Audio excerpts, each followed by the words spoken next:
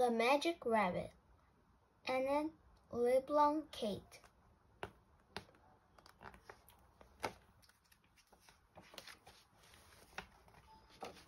Ray and Bunny lived together in a tiny apartment in the city.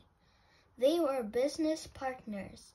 Ray was a magician, magician and Bunny was his loyal assistant. They were also best friends. They did everything together. Every Saturday, Ray and Bunny took their magic show downtown. But one Saturday, the sidewalk was a little more crowded than usual. And just as Ray said the magic word and Bunny was about to leap from the head in a spray of glittering stars, abracadabra! Crash!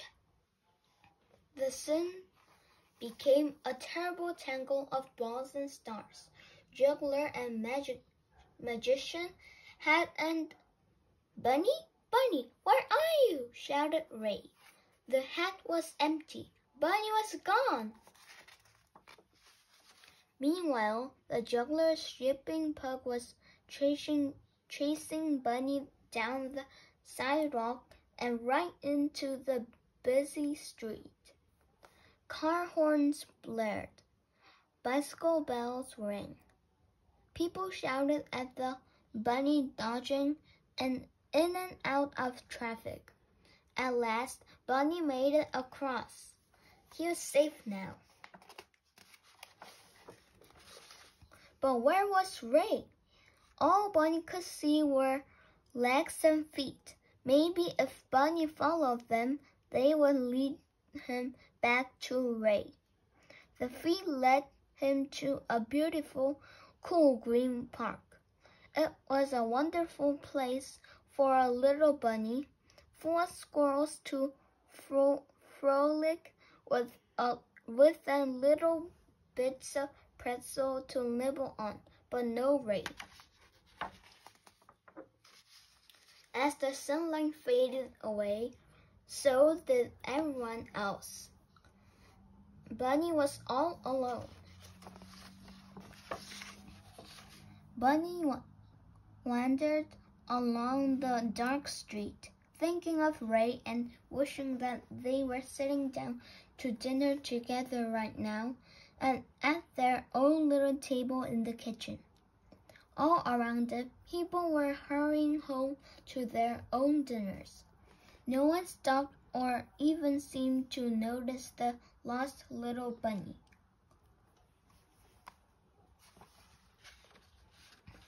Bunny hopped along a little farther, then slipped down a dark alley to rest. He was tired and hungry and missed Ray terribly. A tear rolled down his nose.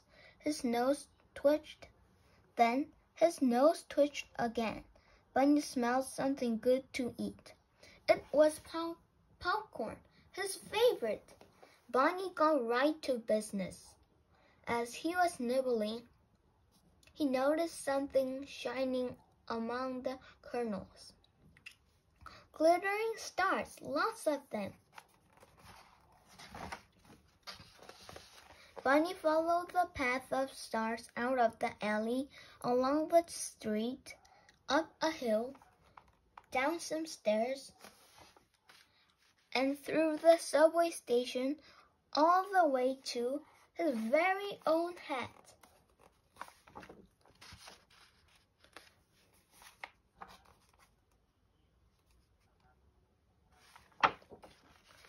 The last train of the night pulled away. Only a magician and his bunny assistant were left on the platform. Platform, but two old friends never mind walking home together. Thank you for watching this book, The Magic Rabbit.